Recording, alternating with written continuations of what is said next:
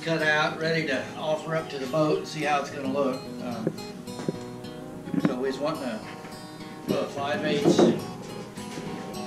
But we flush it up with the bottom of the rails. You can see we're sticking up pretty prominent. And I took my pencil and just kind of carefully marked that line. So that lets me know the bottom of my curve. Now I'm going to, know, I don't have a carver's vise, so I have a block couple of screws for a clamp and uh, we'll carve it with it.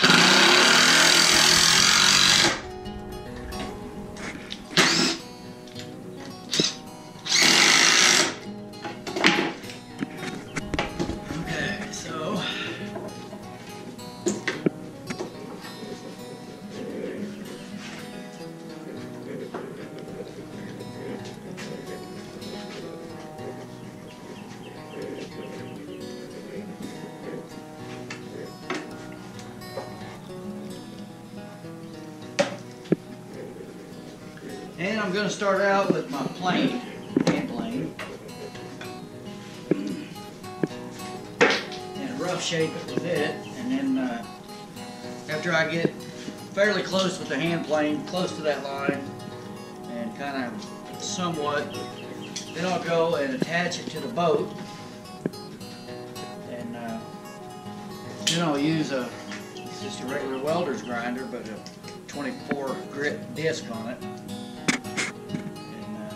Shaping with it down to fairly close to the rails, and then I'll use a random orbit. I've got the other breast up pretty close. It's supposed to look something like this when I get done. Mm, And, I can't uh, see it very good because of the sun. I need to go the other way, maybe. Well, it's supposed to look something like this, and uh, once you get your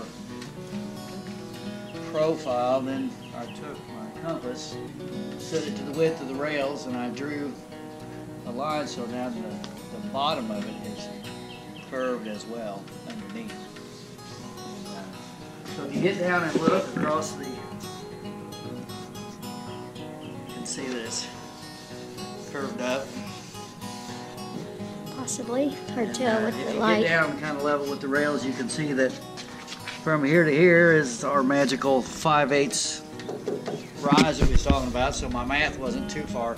The miracle of modern mathematics wasn't too far off. Hmm. But, uh, okay, so I'm going to go ahead and shape this one, and uh, we will see how it goes. Am I supposed to record this part? Yeah, you can record a little bit. I don't care. Okay,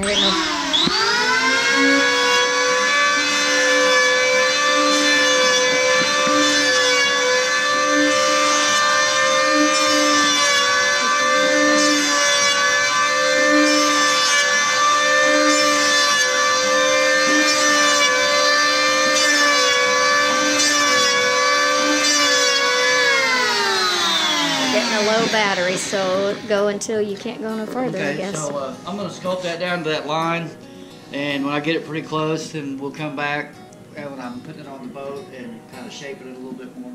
So, Alrighty, thank you very much.